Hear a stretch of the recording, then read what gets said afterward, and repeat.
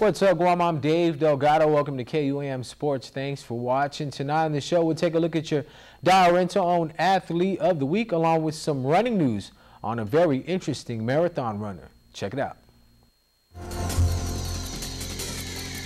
We're here at Dow Rentone, Mingila for our Dow Rentone Athlete of the Week. Today we have Chief Master Sergeant John Kanata, and here to present him with a check is Ernie. Ernie?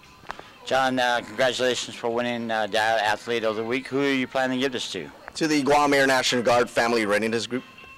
All right, Mr. Kanata, you competed in the first event of the 2013 Tag Cup, which was the bowling event. Overall, how was uh, the tournament and the reaction to the families and soldiers uh, competing at the event? Overall, it was a success, and uh, this this event uh, actually gets the families, the soldiers, the airmen uh, together uh, for a camaraderie, networking, and it's pretty core. Let's talk about the Tag Cup itself. Um, what was the purpose behind getting it started, and a little bit of history behind the Tag Cup? Uh, basically, it started when uh, General Paulino's first time around as a tag, and uh, he wanted to try and get the airmen and the soldiers together because uh, back then, uh, you know, airmen and soldiers were not networking with each other, and this was one of his ways to get them together, um, get the families together, and have that uh, that competition, the spirit of competition, but also uh, get the really the families together and and, and uh, enjoy uh, each other's company. You guys have several events lined up for the 2013 year. What are some of the upcoming events for the Tag Cup itself? Well, the next one coming up is a billiards event, and that's in like in March uh, 16th of this year.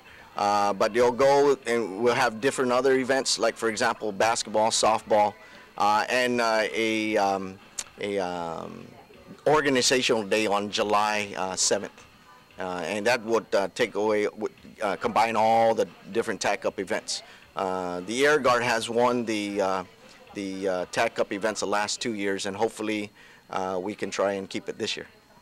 All right, congratulations. Stay tuned to our next Dow Rental Athlete of the Week. KUAM Sports Athlete of the Week is brought to you by. In running news, Mr. Eddie Vega continues to turn heads in the sport as he runs marathons barefooted the former Guam resident has ran five marathons in five days, competed in 36 different states and five different countries, and has ran a total of three marathons completely barefoot, just to name a few of his accomplishments. This will be my 75th uh, marathon. Uh, out of that, uh, 66, uh, it'll be 60, it will be 67 regular uh, full marathons and eight ultra marathons, which are 50k or greater. And uh, yeah, my first barefoot marathon was actually last December 30th, 2012. Uh, it started out as a dare. Uh, it was my 50th marathon for the year, and I decided, uh, and I was just joking around with the other runners that, uh, hey, you know what? Uh, this is the fifth marathon uh, over five days, and I only brought four pairs of shoes. Uh, so I guess I'm going to run barefoot.